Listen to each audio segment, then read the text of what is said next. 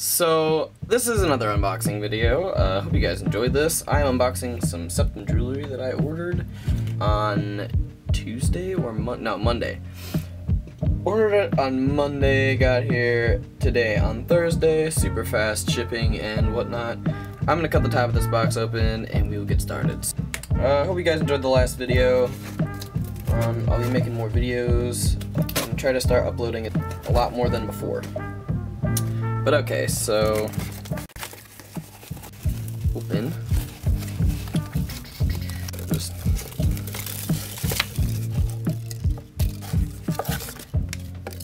little peanuts. Um, let me look at this receipt really quickly. You guys stare at those peanuts. I ordered a microflare, double microflare um, septum plug from Glasswear Studios and a 4 gauge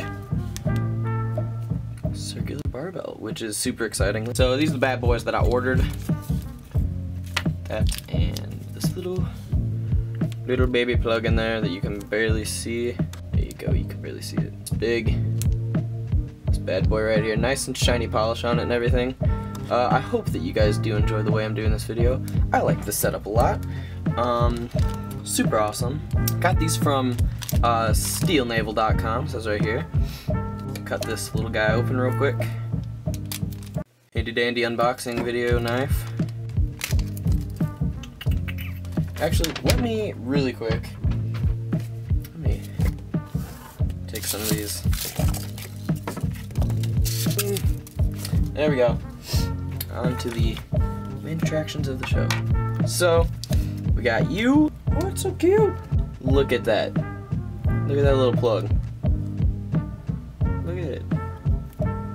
You can't say that's not a cute little plug. I got these two pieces for my septum little baby micro flare plug right there. Uh, really beautiful. Uh, especially this little plug. Super, super cute looking. This is from Glasswear Studios, as I said. Um, let's see what the wearable on this little guy is.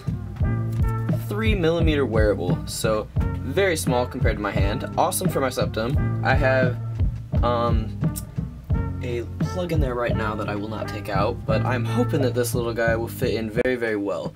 And then, of course, we have this bad boy right here. Um, really looking forward to wearing this thing. Look at that. Nice finish on it. Nice finish.